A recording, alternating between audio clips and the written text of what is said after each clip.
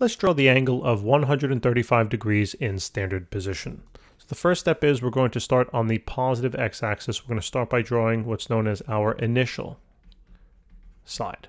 Okay, and then what we should do is we should now label maybe the uh, degrees moving in a counterclockwise direction. That is the positive way to label the uh, angles here. So we start at zero, then when we rotate counterclockwise, the positive y-axis gets a value of 90, then the negative x-axis will get a value of 180.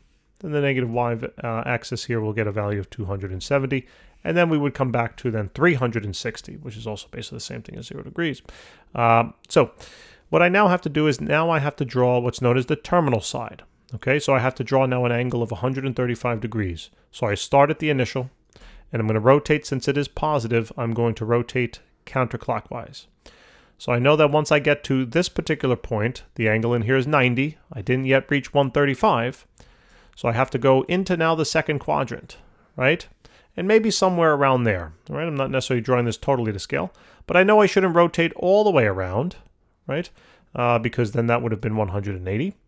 So I want to now uh, find out if this angle is appropriate in here, if this is 135 degrees, right? 135 degrees and it should be reasonable uh, because we know that this little area in here is 90 and then we would add essentially another 45 degree angle to it okay so if I had to do this a little bit more to scale maybe I should bring this down to about you know there or so but that would be the uh, final place the final resting place, as they say.